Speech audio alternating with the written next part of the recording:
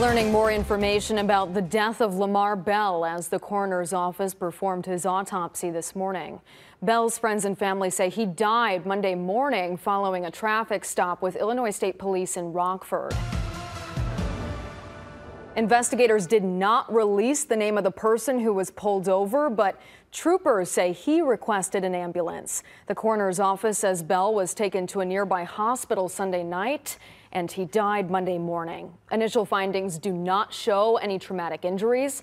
Winnebago County Coroner Jennifer Muraski and the office is still waiting on toxicology test results, which could take up to several weeks.